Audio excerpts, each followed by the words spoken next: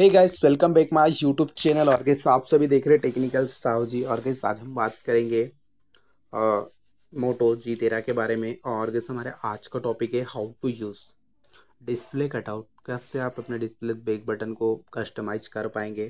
तो गाइस इस वीडियो को सोच लाइक एंड तो देखिए। एंड समझिए, अभी तक हमारे चैनल को सब्सक्राइब नहीं किया तो प्लीज़ सब्सक्राइब कर लीजिएगा। देन सेटिंग पे आइए। सेटिंग में पहले अबाउट फ़ोन पर जाइएगा bullet number on bullet number पर जाइएगा सेवन पर क्लिक कर लीजिएगा डेवलप नंबर कर लीजिएगा। इसके बाद यहाँ पे सिस्टम पे आइएगा और डेवलपर ऑप्शन पर जाइएगा, नीचे स्लॉट कर लीजिएगा।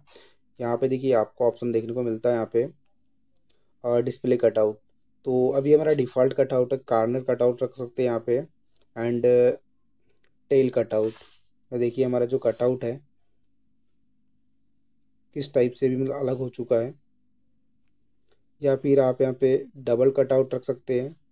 देखिए, ये और ऊपर आ गया आप देख सकते हैं कि यहाँ पे अपने कटआउट्स का मतलब मैनेज कर सकते हैं।